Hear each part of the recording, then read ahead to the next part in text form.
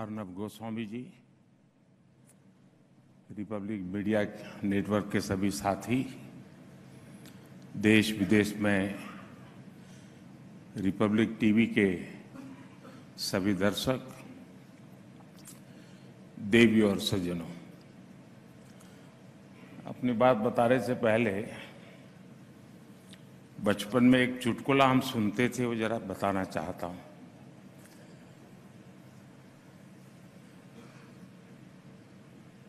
एक प्रोफेसर थे और उनकी बेटी ने आत्महत्या की। तो एक चीट छोड़ करके गई कि मैं ज़िंदगी में थक गई हूँ, मैं जीना नहीं चाहती हूँ तो मैं काकरिया तालाब में कूद करके मर जाऊँगी। अब सुबह देखा, बेटी घर में नहीं है तो बिस्तर में चिट्ठी मिली। तो पिताजी को बड़ा गुस्सा आया, बोले, मैं प्रोफेसर, इतने साल मैंने मेहनत की, अभी भी बोले, कांकरिया स्पेलिंग गलत लिख के जाती है।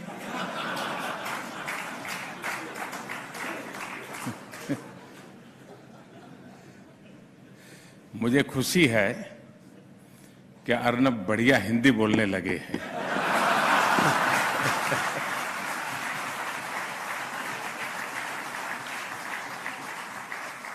उन्होंने क्या बोला वो तो मैंने सुना नहीं, लेकिन हिंदी ठीक है कि नहीं, वो बराबर ध्यान से सुन रहा था। और शायद मुंबई में रहने के कारण आप हिंदी बराबर सीख लिए साथियों आप सबके बीच आना स्वाभाविक है कि आनंद होता है। अगले महीने रिपब्लिक टीवी के छह साल पूरे हो रहे हैं। मैं आपको बधाई दूँगा। आपने नेशन फ़र्स्ट के अपने मिशन को डिगने नहीं दिया।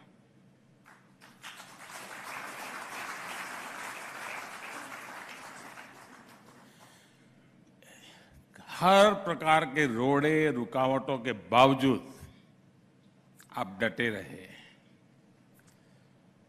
कभी अर्नब का गला खराब हुआ, कभी कुछ लोग अर्नब के गले पड़ गए। लेकिन चैनल न रुका, न थका और न ही थमा।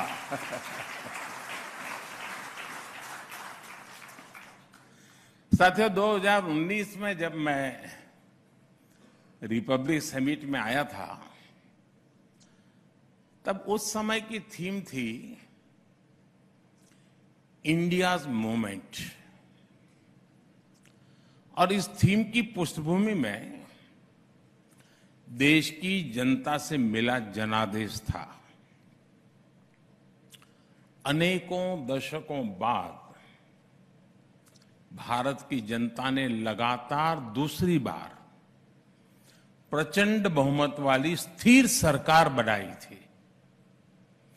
देश को ये विश्वास हो गया था कि इंडिया मूवमेंट आ गया है।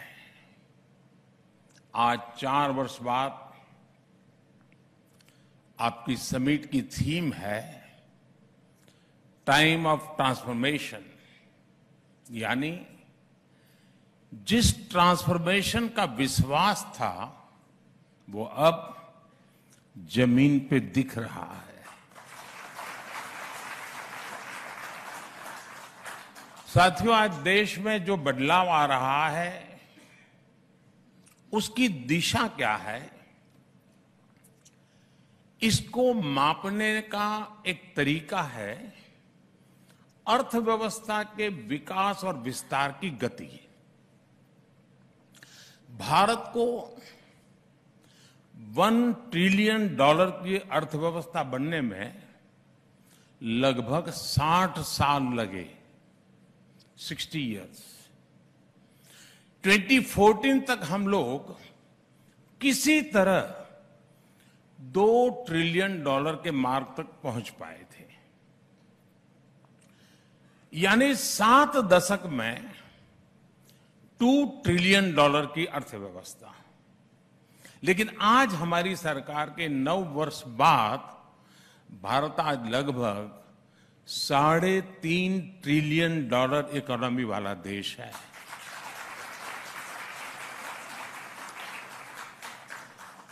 बीते नौ वर्षों में हमने दसवें नंबर की अर्थव्यवस्था से पाँचवें नंबर तक की लंबी छलांग लगाई। और ये सब सौ साल के सबसे बड़े संकट के बीच हुआ है। जिस दौर में दुनिया की बड़ी बड़ी अर्थव्यवस्थाएँ फंसी हुई थी, उस दौर में भारत संकट से बाहर भी निकला और तेज गति से आगे भी बढ़ रहा है। साथियों, पॉलिसी मेकर से आपने एक बात अक्सर सुनी होगी, फ़र्स्ट ऑर्डर इंपैक्ट, यानी किसी भी नीति का पहला और स्वाभाविक परिणाम। फ़र्स्ट ऑर्डर इंपैक्ट ही पॉलिसी का पहला लक्ष्य होता है और ये कम समय में दिखने लगता है। लेकिन हर पॉलिसी का सेकंड और थर्ड ऑर्डर इंपैक्ट भी होता है। इनका प्रभाव गहरा होता है, दुर्गामी होता है, लेकिन ये सामने आने में समय लगता है। इसकी कंपेरेटिव स्टडी करने के लिए विस्तार से समझने के लिए हमें कई दशक पीछे जाना पड़ेगा। आप लोग टीवी की दुनिया वाले टू विंडो चलाते हैं ना? पहले और अब वाली, बिफोर एंड आफ्टर वाली तो मैं भी कुछ वैसा ही आज करने वाला हूँ। तो पहले जरा बिफोर की बात कर लेते हैं। साथियों, आज़ादी मिलने के बाद लाइसेंस राज वाली जो इकोनॉमी पॉलिसी अपनाई गई थी, उसमें सरकार ही कंट्रोलर बन गई। कंपटीशन खत्म कर दिया गया। प्राइवेट इंडस्ट्री को, एमएसएमईज को आगे नहीं बढ़ने दिया गया। इसका पहला नकारात्मक प्रभाव तो यही हुआ कि दूसरे देशों के मुकाबले हम पिछड़ते चले गए, हम और गरीब होते गए। उन नीतियों का सेकंड ऑर्डर इंपैक्ट और भी बुरा हुआ। भारत की कंजम्पशन ग्रोथ दुनिया के मुकाबले बहुत कम रह गई। इसकी वजह से मैन्युफैक्चरिंग सेक्टर कमज़ोर हुआ और हमने इन्वेस्टमेंट के मौके गंवा दिए।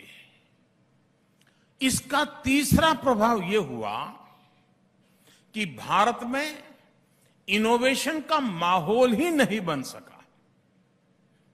ऐसे में न ज़्यादा इनोवेटिव एंटरप्राइज बने और ना ही ज़्यादा प्राइवेट जॉब्स क्रिएट हुई। युवा सिर्फ़ और सिर्फ़ सरकारी नौकरी के भरोसे रहने लगे।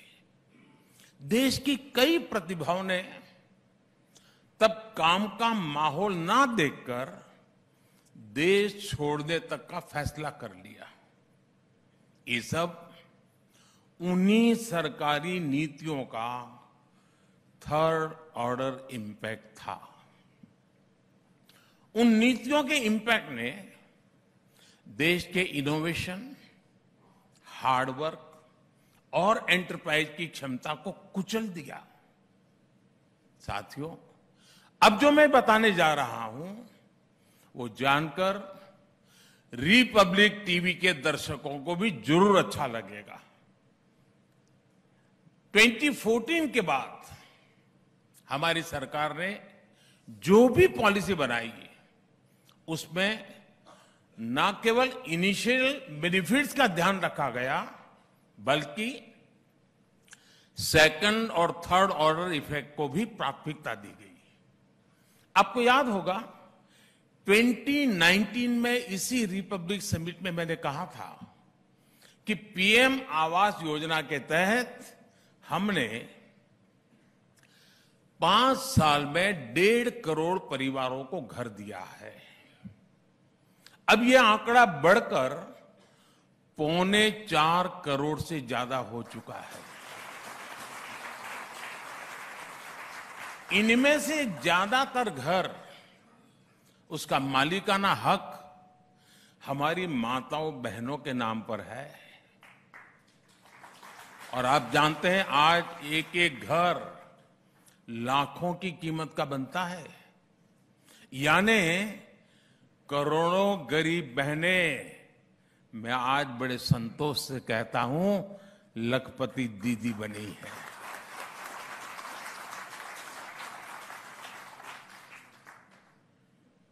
शायद इससे बड़ा कोई रक्षाबंधन नहीं हो सकता है।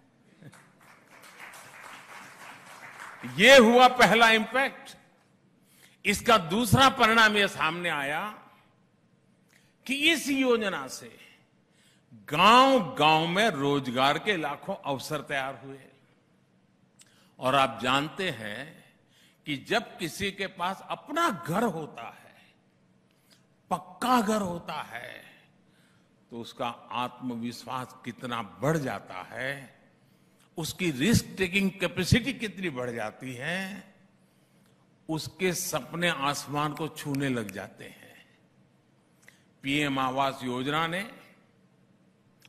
देश के गरीब का आत्मविश्वास नई ऊंचाई पर पहुँचाया।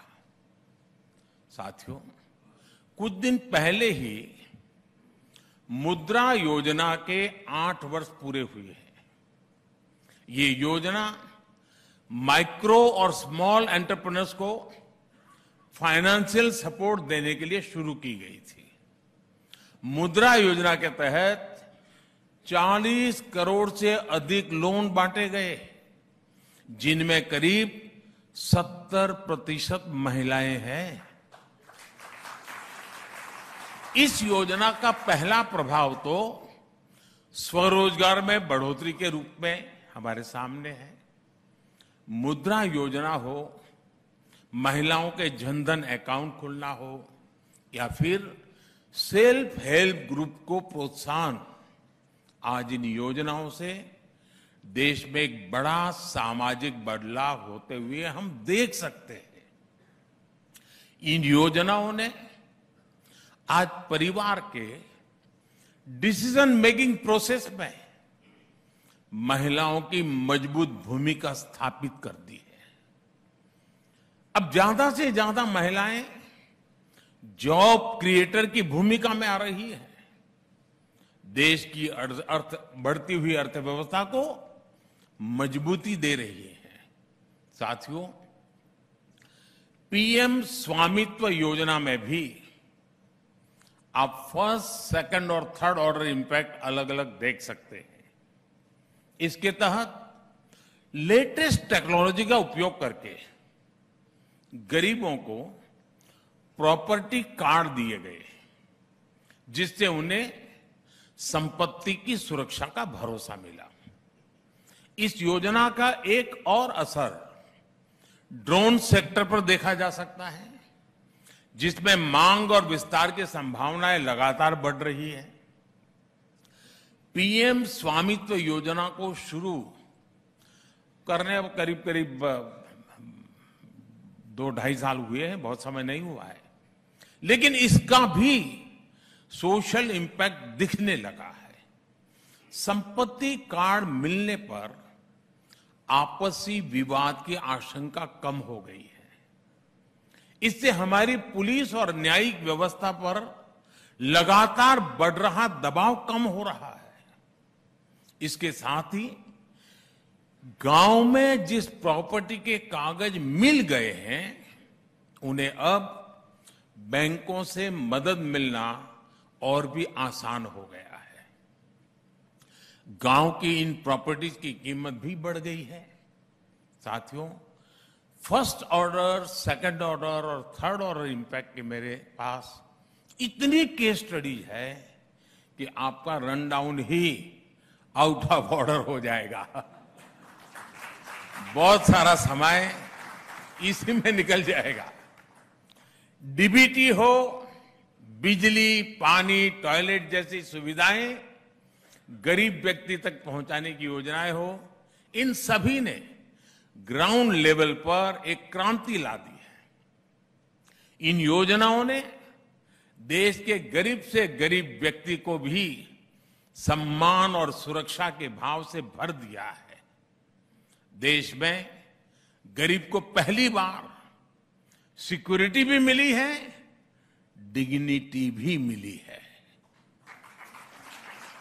जिन्हें दशकों तक यही एहसास दिलाया गया था कि वो देश के विकास पर बोझ है, वो आज देश के विकास को गति दे रहे हैं। जब सरकार ये योजनाएँ शुरू कर रही थी तो कुछ लोग हमारा मज़ाक उड़ाया करते थे। लेकिन आज इन्हीं योजनाओं ने भारत के तेज विकास को गति दी है। ये योजनाएँ विकसित भारत के निर्माण का आधार बन रही है। साथियों, बीते नौ वर्षों से गरीब, दलित, वंचित, पिछड़ा, आदिवासी, सामान्य वर्ग, मध्यम वर्ग, हर कोई अपने जीवन में स्पष्ट बदलाव अनुभव रहा है। आज देश में बहुत सिस्टमेटिक अप्रोच के साथ काम हो रहा है। मिशन मोड पर काम हो रहा है। हमने सत्ता के माइंडसेट को भी बदला है।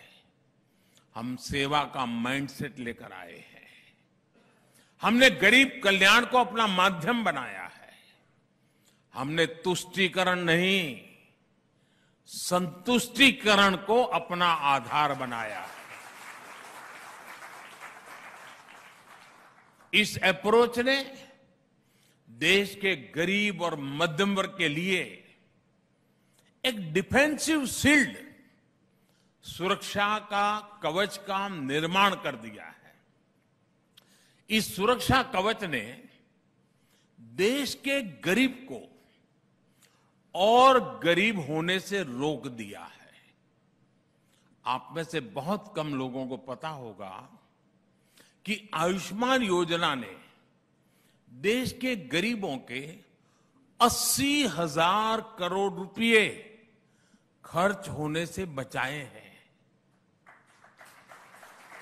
जो गरीब के जेब से जाने वाला था, अगर ये योजना न होती तो इतने ही पैसे गरीब को अपनी जेब से खर्च करने पड़ते सोचिए, हमने कितने ही गरीबों को और गरीब होने से बचा लिया है।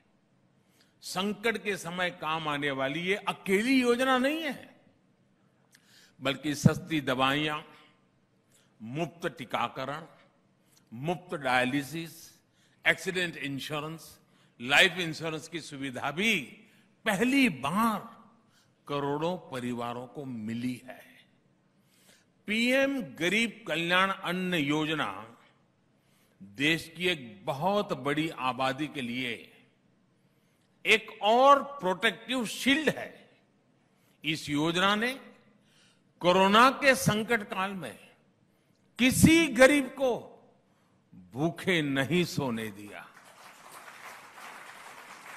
आज सरकार चार लाख करोड़ रुपए सरकार इसी अन्य योजना पर खर्च कर रही है। चाहे वो one nation, one ration card हो या फिर जेम ट्रिनिटी, ये सभी प्रोटेक्टिव शील्ड का ही हिस्सा है। आज गरीब से गरीब को भरोसा मिला है कि जो उसके हक का है वो उसे ज़रूर मिलेगा। और मैं मानता हूँ, ये, यही सच्चे अर्थ में सामाजिक न्याय है।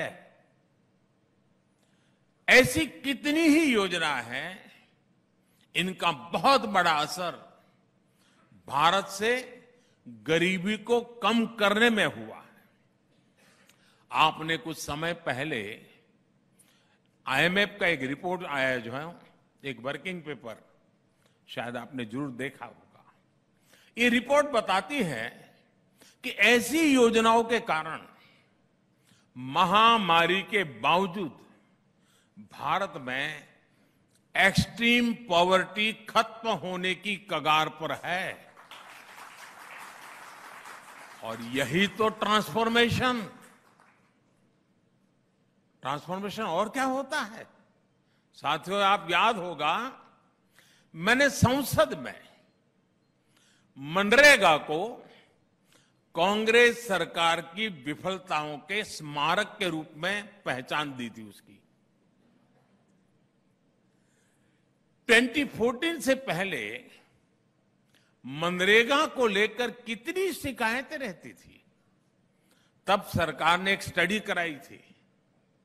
स्टडी में सामने आया, कई जगहों पर तो एक दिन के काम के बदले तीस दिन तक की हाजिरी दिखाई जा रही है। यानी पैसा कोई और हजम कर रहा था। इसमें किसका नुकसान हो रहा था? गरीब का, मजदूर का? आज भी अगर आप गाँवों में जाएँगे और पूछेंगे कि 2014 से पहले मनरेगा में कौन सा प्रोजेक्ट बना है? जो आज काम आ रहा है तो आपको ज़्यादा कुछ हाथ नहीं लगेगा। पहले मनरेगा पर जो धनराशि खर्च भी हो भी रही थी, उसमें परमानेंट एसेस डेवलपमेंट का काम बहुत ही कम होता था। हमने स्थिति को भी बदला। हमने मनरेगा का बजट बढ़ाया ट्रांसपेरेंसी भी बढ़ाई। हमने पैसा सीधे बैंक अकाउंट में भेजना शुरू किया और गाँव के लिए रिसोर्स भी बनाए 2014 के बाद मनरेगा के तहत गरीबों के पक्के घर भी बने, कुएँ, बावड़ियाँ, नहरें पशुओं के शेड ऐसे लाखों काम हुए हैं। आज अधिकतर मनरेगा पेमेंट्स पंद्रह दिन में ही क्लियर हो जाती है। अब करीब 90 परसेंट से अधिक मनरेगा मजदूरों के आधार कार्ड लिंक हो चुके हैं। इससे जॉब कार्ड में फर्जीवाड़ा कम हुआ है। और मैं आपको एक और आंकड़ा दूँगा। मनरेगा में फर्जीवाड़ा रुकने की वजह से चालीस हज़ार करोड़ रुपए गलत हाथों में जाने से बचे हैं। अब मनरेगा का पैसा उस गरीब मजदूर के पास जा रहा है जो मेहनत करता है जो अपना पसीना बहाता है। गरीब के साथ हो रहे उस अन्याय को भी हमारी सरकार ने समाप्त कर दिया है। साथियों, ट्रांसफॉर्मेशन की ये यात्रा जितनी समकालीन है, उतनी ही फ्यूचरिस्टिक भी है। हम आने वाले अनेक दशकों की तैयारी आज कर रहे हैं। अतीत में जो भी टेक्नोलॉजी आई, वो कई कई दशकों या सालों के बाद भारत पहुँची। पिछले नौ वर्षों में भारत ने इस ट्रेंड को भी बदला है। भारत ने तीन काम एक साथ शुरू किए। एक तो हमने टेक्नोलॉजी से जुड़े सेक्टर्स को सरकार के कंट्रोल से मुक्त कर दिया। दूसरा हमने, भारत की ज़रूरत के मुताबिक भारत में ही टेक्नोलॉजी विकसित करने पर ज़ोर दिया। तीसरा, हमने फ्यूचर की टेक्नोलॉजी के लिए रिसर्च एंड डेवलपमेंट पर मिशन मोड अप्रोच अपनाई। आज आप देख रहे हैं कि देश में किस तरह और कितनी तेज़ी से 5G का रोल आउट हुआ है। हम दुनिया में सबसे तेज गति से आगे बढ़े हैं। 5G को लेकर भारत ने जो तेज़ी दिखाई है, जिस तरह अपनी खुद की टेक्नोलॉजी विकसित की है, उसकी पूरी दुनिया में चर्चा हो रही है। साथियों, कोरोना काल में वैक्सीन का विषय भी कोई भूल नहीं सकता। जो पुरानी सोच और अप्रोच वाले लोग थे, वो कह रहे थे कि मेड इन इंडिया वैक्सीन की ज़रूरत क्या है? दूसरे देश बना ही रहे हैं, वो एक ना एक दिन हमें भी वैक्सीन दे ही देंगे। लेकिन संकट की घड़ी में भारत ने आत्मनिर्भरता का रास्ता चुना। और परिणाम हमारे सामने हैं।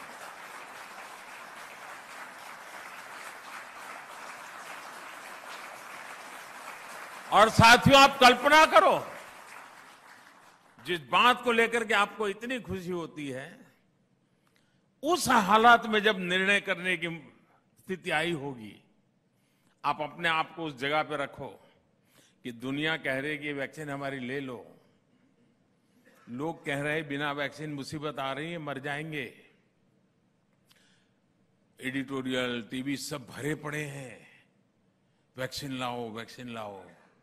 और मोदी डट करके खड़ा है।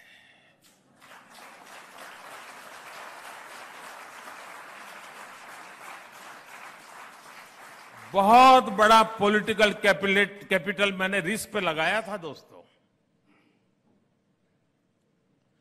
सिर्फ़ और सिर्फ़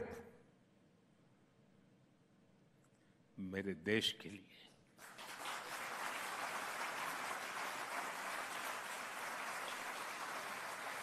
वरना मैं भी, अरे खजाना है, खाली करो, है, ले आओ।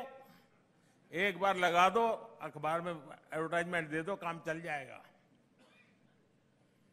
लेकिन हमने वो रास्ता नहीं चुना, दोस्तों। हमने बहुत ही कम समय में दुनिया की श्रेष्ठ और प्रभावी वैक्सीन तैयार की। हमने तेज गति से दुनिया का सबसे बड़ा, सबसे सफल वैक्सीन अभियान चलाया। और आपको याद होगा, अभी तो जनवरी, फरवरी में कोविड की शुरुआत भारत में शुरू अभी तो हुई थी। और भारत ने मई महीने में वैक्सीन के लिए टास्क फोर्स बना दिया था। इतना एडवांस में सोच करके काम किया है। और यही वो भी समय था जब कुछ लोग मेड इन इंडिया वैक्सीन को नकारने में जुटे थे। न जाने कैसे कैसे शब्द प्रयोग किए थे। पता नहीं किसका दबाव था। जाने क्या स्वार्थ था कि ये लोग विदेशी वैक्सीन के इंपोर्ट की पैरवी कर रहे थे? साथियों, हमारा डिजिटल इंडिया अभियान की भी आज विश्व भर में चर्चा है। मैं पिछले दिनों जी ट्वेंटी समिट में बाली गया था। शायद ही कोई देश ऐसा होगा जिसने मुझे डिजिटल इंडिया की डिटेल जानने की कोशिश न की हो। इतनी बड़ी चर्चा है। डिजिटल इंडिया को भी एक समय में ड्रिल करने की कोशिश हुई थी। पहले देश को डाटा, बनाम, आटा की डिबेट में उलझाया गया। और ये टीवी वालों को तो बजा मर जाता है दो शब्द डाल देते हैं। डाटा चाहिए, आटा चाहिए। जनधन, आधार, मोबाइल की ट्रिनिटी को रोकने के लिए इन्होंने संसद से लेकर कोर्ट तक क्या क्या प्रपंच नहीं किए। 2016 में जब मैं देशवासियों कहता था कि आपके बैंक को आपकी उंगली पर लाकर मैं खड़ा कर दूँगा। आपकी उंगली पर आपकी बैंक होगी। तो ये लोग मेरा मज़ाक उड़ाते थे। कुछ छद्म बुद्धिजीवी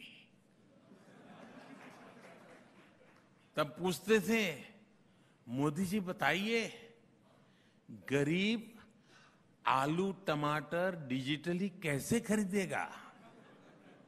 अच्छा यही लोग बाद में क्या बोलते हैं, अरे, गरीब के नसीब में आलू टमाटर होता कहाँ है? ये ऐसे ही लोग हैं जी।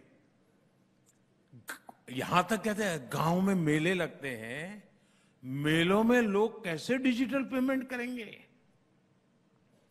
आज आप देखिए, आपकी फ़िल्म सिटी में भी चाय की दुकान से लेकर लिट्टी चोखे के ठेले तक डिजिटल पेमेंट हो रहा है या नहीं?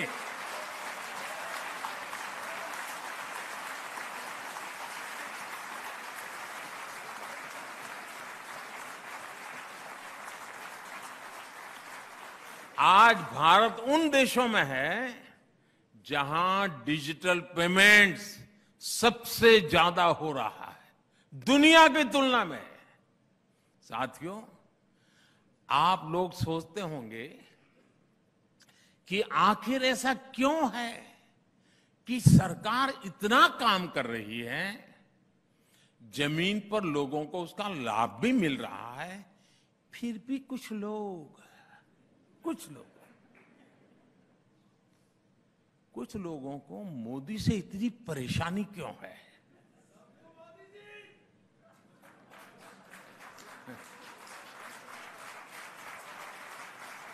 अब इसके बाद मीडिया वालों का समय शुरू होता है।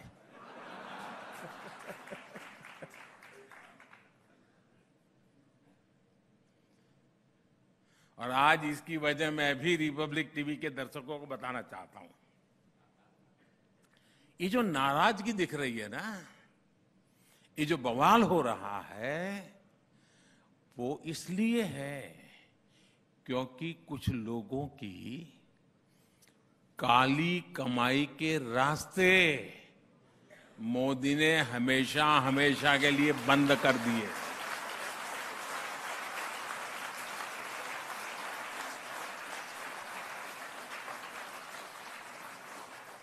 अब भ्रष्टाचार के खिलाफ लड़ाई में आधी अधूरी आइसोलेटेड अप्रोच नहीं है। अब एक इंटीग्रेटेड इंस्टीट्यूशनलाइज अप्रोच है। ये हमारा कमिटमेंट है। अब आप बताइए, जिसकी काली कमाई रुकेगी, वो मुझे पानी पी पी कर गाली देगा कि नहीं देगा?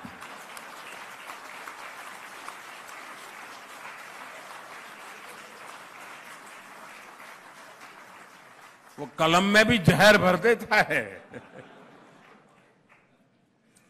आप ये जानकर हैरान रह जाएँगे कि जैम ट्रिनिटी उसकी वजह से सरकारी स्कीम्स के करीब 10 करोड़ आंकड़ा कम नहीं है साहब। 10 करोड़ फर्जी लाभार्थी बाहर हो गए हैं।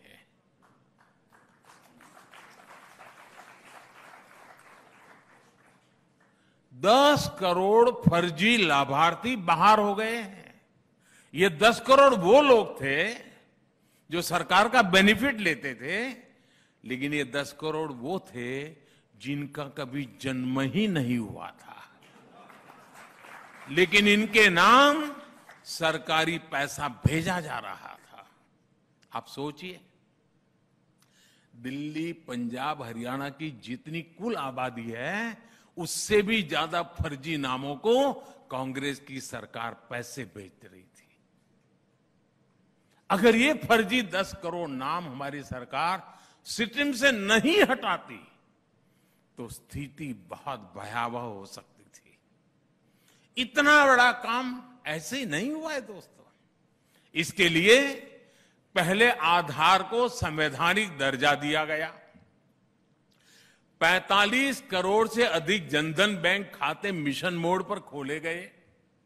अभी तक 28 लाख करोड़ रुपए डीबीटी से करोड़ों लाभार्थियों तक पहुँचाए गए। डायरेक्ट बेनिफिट ट्रांसफ़र कोई बिचौलिया नहीं, कोई कटकी कंपनी नहीं। कोई काली कमाई करने वाले लोग नहीं। और डीबीटी का सीधा सीधा मतलब है डीबीटी यानी कमीशन बंद, लीकेज बंद। इस एक व्यवस्था से ही दर्जनों योजनाओं, कार्यक्रमों में ट्रांसपेरेंसी आ गई। साथियों, सरकारी खरीद भी हमारे देश में भ्रष्टाचार का एक बड़ा ज़रिया हुआ करती लेकिन अब इसमें भी ट्रांसफॉर्मेशन आ चुका है। सरकारी खरीद, अब पूरी तरह जेम, यानी government e marketplace portal पर होती है। टैक्स से जुड़ी व्यवस्थाओं से कितनी परेशानी थी? क्या क्या परेशानी थी? इसको लेकर अखबार भरे रहते थे। हमने क्या तरीका निकाला? हमने सिस्टम को ही फेसलेस कर दिया। टैक्स अधिकारी और टैक्स पेयर का आमना सामना ही ना हो। ये व्यवस्था की। अब जो जीएसटी जैसी व्यवस्था बनी है, उससे भी काली कमाई के रास्ते बंद हुए हैं। जब ऐसे ईमानदारी से काम होता है तो कुछ लोगों को दिक्कत होनी बहुत स्वाभाविक है। और जिसको दिक्कत होगी, वो कोई गली मोहल्ले के लोगों को गाली थोड़े देगा। साथियों, इसलिए भ्रष्टाचार की ये प्रतिनिधि डिस्टर्ब है। कुछ भी करके ये देश की ईमानदार व्यवस्था को फिर से ध्वस्त कर देना चाहते हैं। साथियों, इनकी लड़ाई अगर सिर्फ़ एक व्यक्ति मोदी से होती तो ये बहुत पहले सफल हो जाते। लेकिन ये अपनी साजिशों में इसलिए सफल नहीं हो पा रहे हैं क्योंकि इन्हें पता ही नहीं कि ये सामान्य भारतीय के विरुद्ध लड़ रहे हैं। उनके खिलाफ खड़े हुए हैं। ये भ्रष्टाचारियों का कितना भी बड़ा गठजोड़ क्यों बना बना ले? सारे भ्रष्टाचारी एक ही मंच पे आ जाए। सारे परिवारवादी एक ही जगह पे आ जाए। लेकिन मोदी अपने रास्ते से लौटने वाला नहीं है।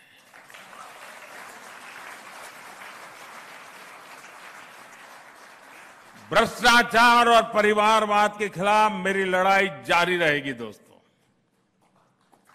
और मैं देश को इन चीज़ों से मुक्त कराने के लिए प्रण लेकर के निकला हुआ इंसान हूँ। मुझे आपके आशीर्वाद चाहिए।